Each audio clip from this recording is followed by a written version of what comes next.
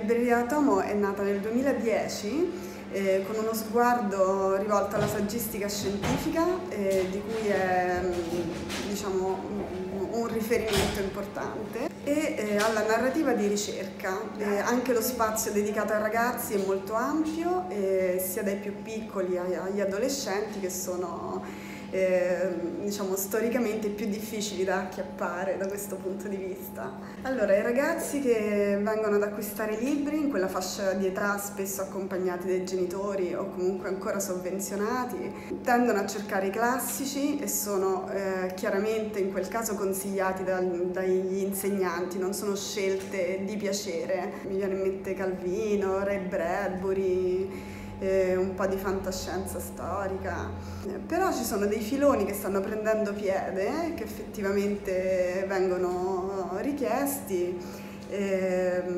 sono saghe di fantascienza e anche quello che noi cerchiamo di consigliare loro sono romanzi di formazione e anche mm, vari titoli legati al mondo dello sport.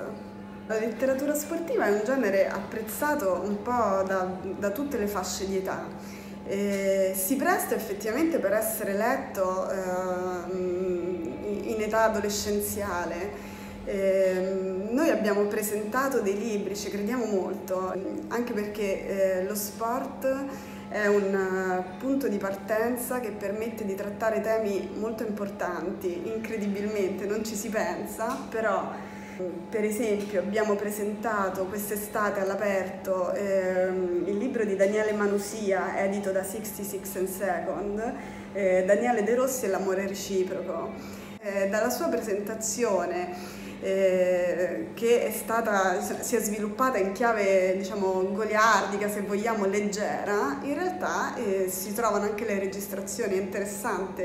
Sono venuti fuori temi importanti come l'agonismo, eh, l'impegno, i femminismi, la differenza mh, di trattamento tra uomini e donne. Lo sport crea l'occasione per trattare temi importanti in una chiave con toni abbastanza leggeri da poter raggiungere quella fascia di età.